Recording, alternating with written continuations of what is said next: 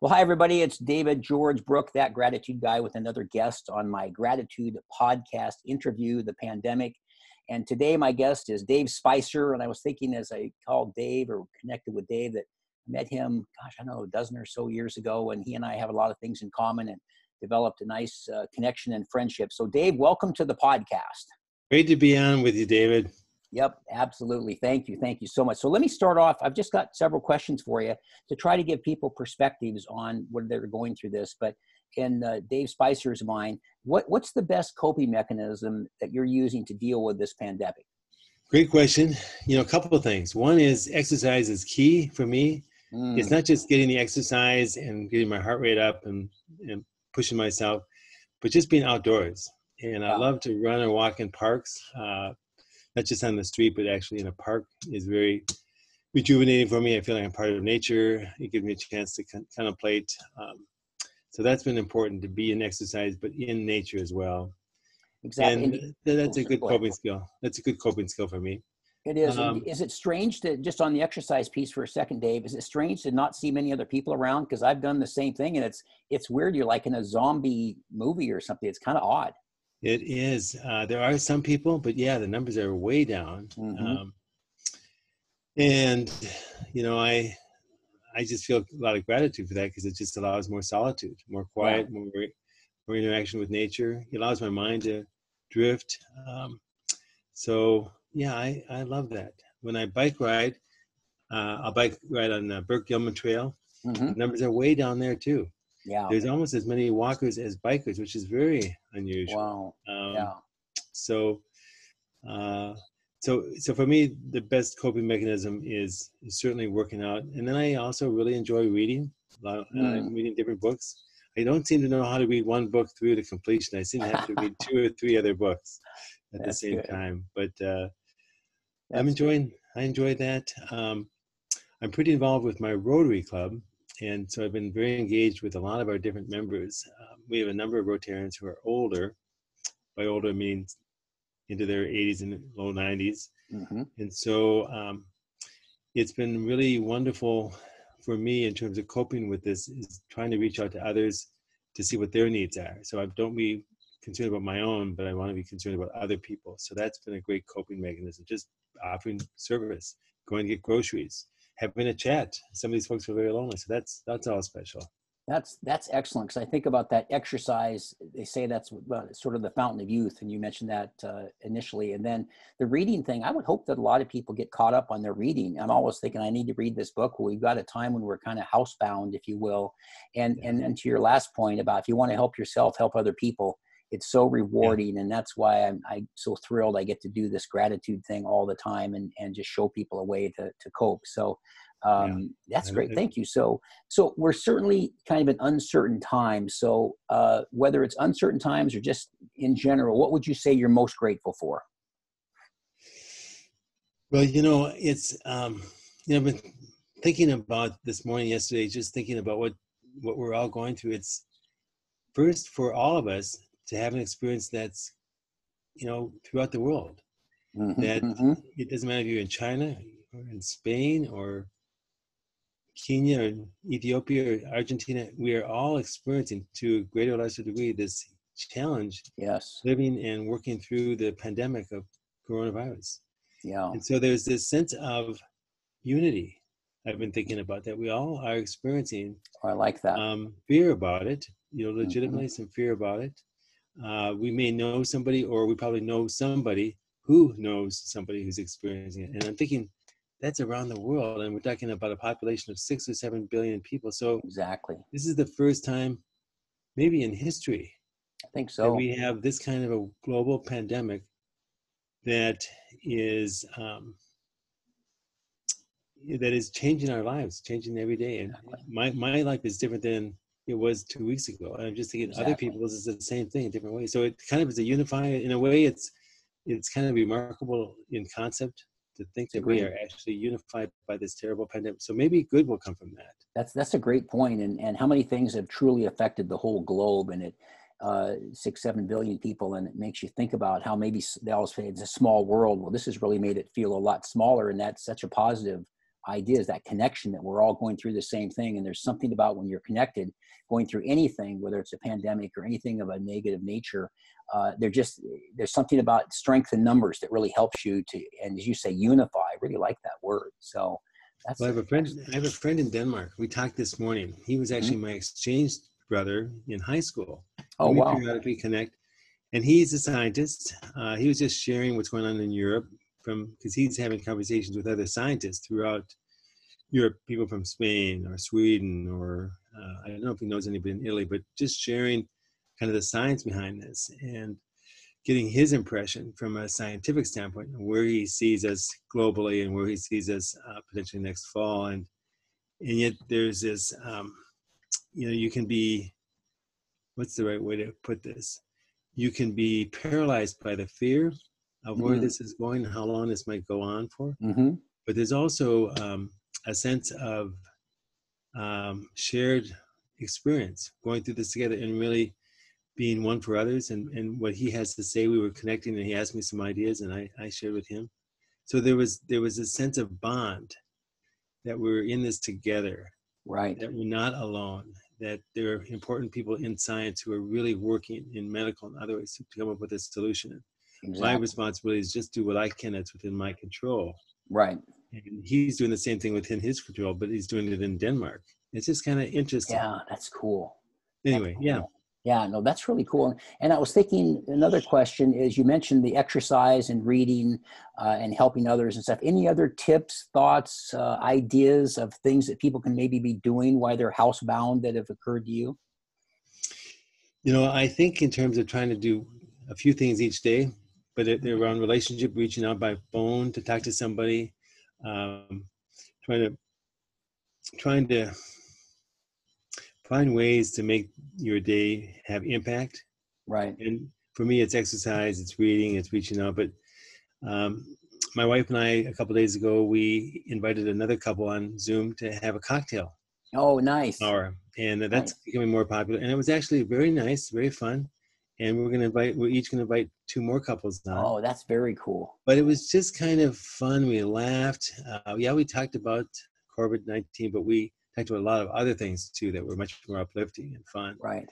Um, so, is that a coping mechanism? To me, it's just trying to be creative about our relationship. We can't like go over that. their home now, but that doesn't mean we can't communicate and connect with them. I like and the connection, in a way, the connection is actually in a, in a, it's a richer way because we realize how fragile and special it is. Um, yes.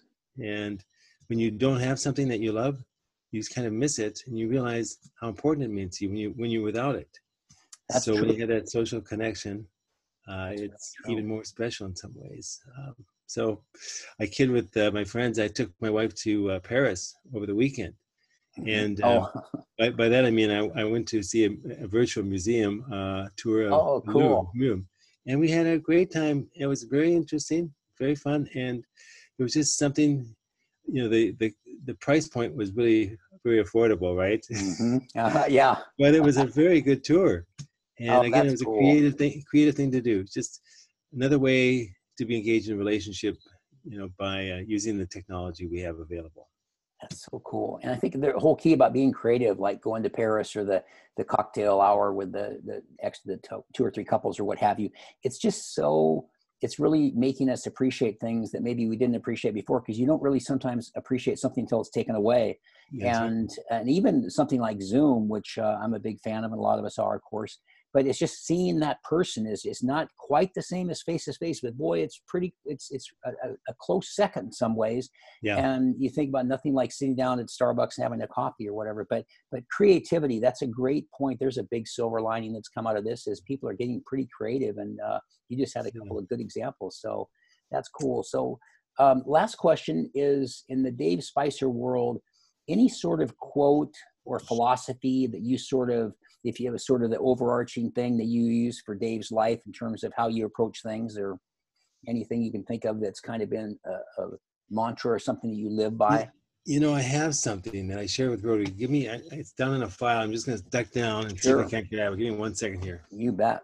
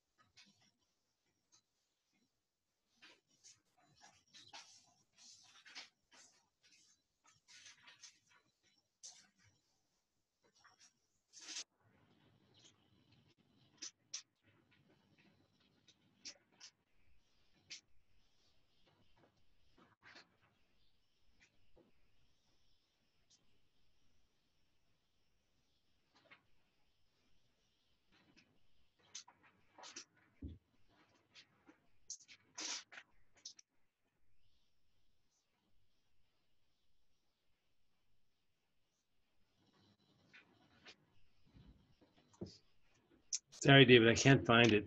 Oh, no worries. It was, it was a quote. It's somewhere in my my office is a little bit messy. Um, no worries. But uh, I could, if you want me to, I could. We could put a Or hold I- on this. I could I could get it by going back in the line. But anyway, I Oh, can't that's find it right okay. But just can you anything you can just sort of paraphrase Sure, or just what, sure. what it what it uh, the philosophy is, if you will. Uh, let me try to paraphrase it. Um, if you think that